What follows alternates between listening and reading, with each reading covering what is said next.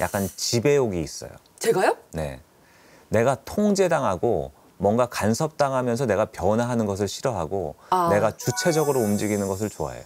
네, 맞아요. 아, 아, 진짜 제일 싫어요. 전 통제 당하는 거를. 남자친구의 관계도 그렇지만 가족, 뭐 일할 때 어떠한 곳에서도 그거는 진짜 싫어해요. 싫죠? 네. 그러면서 지금의 남자는 단지 결혼에 대한 남자가 아니라 음. 내가 통제하고 소유하고 사랑을 받고 싶은 그런 마음 때문에 있는 남자인 거예요. 좀 기질 근데 어떡해요 외로운데? 그- 그- 제가 그래서 말씀드렸잖아요. 제 스스로도 안다니까요 그 이기적인 거를. 너무 이기적인 것 같은데 사람은 혼자 살 수 없고.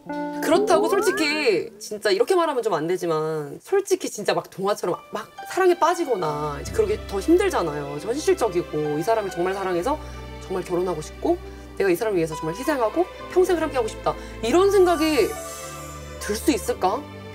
어, 안들 것 같은 생각이 드는 거예요, 저는. 항상 뭐 헤어지게 됐을 때 얘기를 하면 주변 사람들은 항상 그랬어요.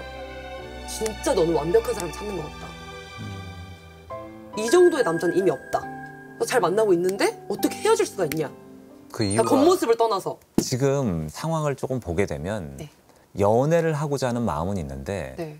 결혼하고자 하는 마음이 없어요. 나 없어요. 전 사실. 없어요. 그렇지 아직도 나이가 좀 어리잖아요. 원래 없어요, 근데 아 저는. 진짜 약간 네. 비혼주의.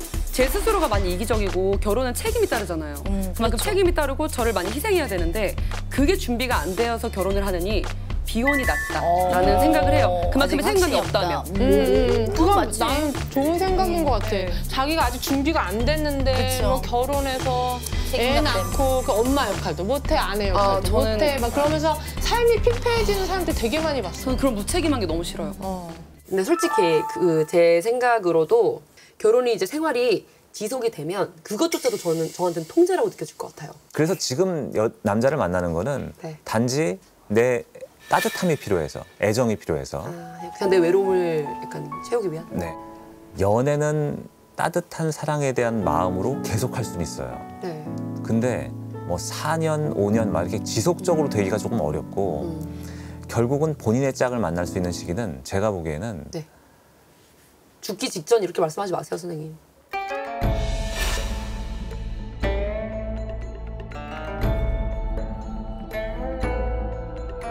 서른다섯부터 들어와요. 아우 딱 좋을 때다. 괜찮네.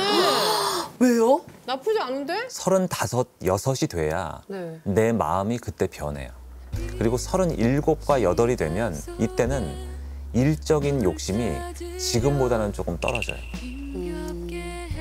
그렇기 때문에 약간 여유가 생기는 거죠. 음.